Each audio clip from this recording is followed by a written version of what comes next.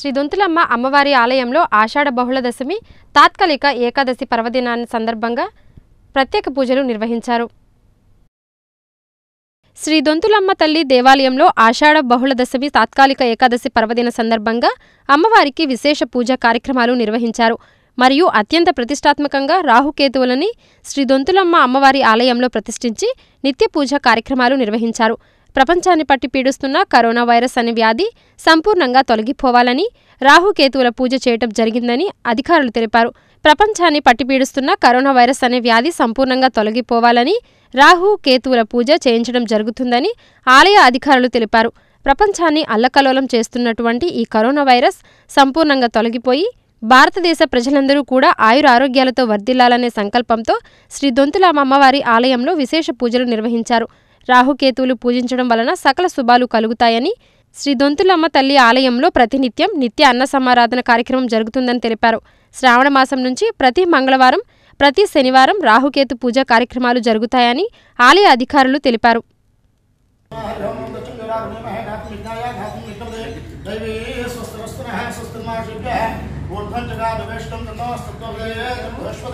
ఓం శాంతి శాంతి శాంతి ఓం సహస్ర శివాయ శివాయ గురవే నమ.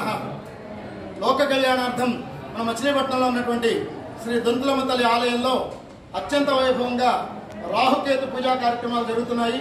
ప్రతి మంగళవారం కూడా రాహుకి కేతువుకి విశేషంగా మన మచిలీపట్నంలోనే పూజా కార్యక్రమాలు చేయడం జరుగుతుంది. వివాహం కాని వారికి వివాహాలు సంతానం లేని వారికి సంతానము విద్య ఉద్యోగం వ్యాపారం వ్యవసాయం ఏది కావాలనుకుంటే అది ఇచ్చేటువంటి కొలిచిన వారికి కొంగు బంగారం లాగా మన రాహుకేతువులను మన మచిలీపట్నంలో దంతులమ్మ వారి ఆలయంలో ప్రతిష్ఠించడం జరిగింది. ఈ యొక్క కార్యక్రమాలు శ్రావణ మాసం నుంచి ప్రతి మంగళవారం శనివారం కూడా జరుగుతుంది. శనివారం నాడు రాహుకాలంలో తొమ్మిది గంటల దగ్గర నుంచి పదిన్నర వరకు అభిషేక కార్యక్రమాలు జరుగుతాయి. ప్రతి మంగళవారం కూడా రాహుకేతువులకి అభిషేకాలు చేసుకుంటారు. స్వయంగా మనం వచ్చి మన చేతుల మీదే రాహుకేతువుకి అభిషేకం చేసుకునేటువంటి ప్రదేశం మన మచిలీపట్నంలోని దుంతలమ్మ తల్లి దేవాలయం. ఎక్కడెక్కడికో వెళ్ళి మనం దురాభాగం ప్రయాస ఖర్చు పెడుతూ శ్రీకాళహస్తి పదకాకాని అనేక చోట్లకి వెళ్తున్నాం. ఎక్కడికి వెళ్ళినా కూడా భగవంతుడు ఒకడే. ఆ భగవంతుడు మనం వెళ్ళలేకపోతే కనుక మనం దూరాభారం వెళ్ళలేని వాళ్ళు మనకి దగ్గరలో ఉన్నటువంటి మచిలీపట్నంలో జవహర్పేట దగ్గర నుంచి దగ్గరలో ఉన్నటువంటి దుంతులమ్మ తల్లి దేవాలయంలో రాహుకేతువులు ఉన్నాయి.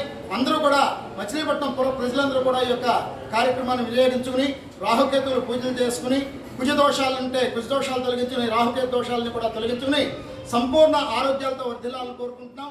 ఈరోజు నాగాలంకలో పాము కాటుకు రైతు బలి అయ్యాడు.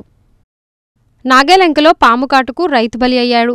నాగాలంక మండలం నంగేగడ్డ గ్రామానికి చెందిన బండ్రెడ్డి చలపతిరావు అనే రైతు తెల్లవారుజామున పొలం పనికి వెళ్ళి మృతి చెందాడు.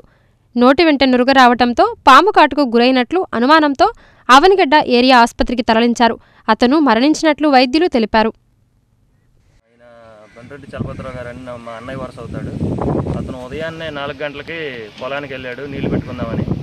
అక్కడ పడిపోయి ఉన్నాడని పక్క అతను చూసి మాకు ఇన్ఫర్మేషన్ ఇచ్చారు. హడావుడిన మేము మా ఇళ్ళ పక్కల అందరం మేము కలిసి వెళ్ళి చూస్తే ఆయన నురుక్కోకుండా పడిపోయి ఉన్నాడు. తొందరగా మేము హాస్పిటల్కి తీసుకెళ్ళాలని హడావుడిగా టాటర్ వేసుకుని వచ్చి తీసుకెళ్తుంటే నొరగొంది నోట్లో పాము అనుమానంతో మేము హాస్పిటల్కి తీసుకెళ్ళాం గవర్నమెంట్ హాస్పిటల్ అవనగడ్డ.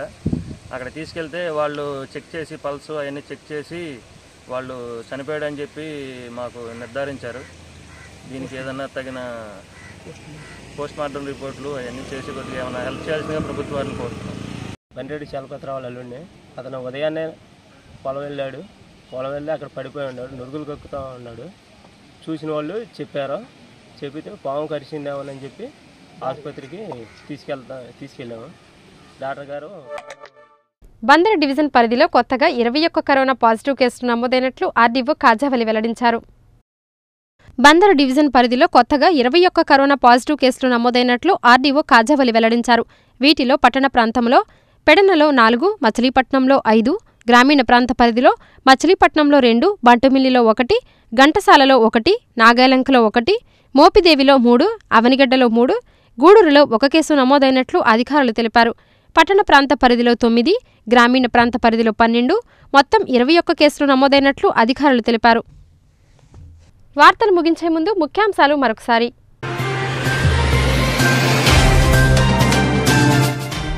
ఇళ్ళ స్థలాలు వేగంగా మెరక చేయాలి. Collector Nivas.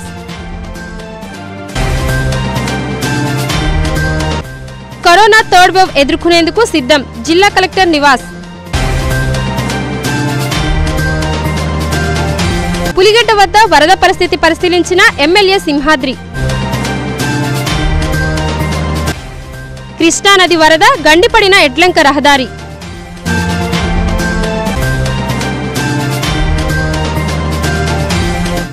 లేగదూడకు బారసాల నిర్వహించిన అరుదైన ఘటన.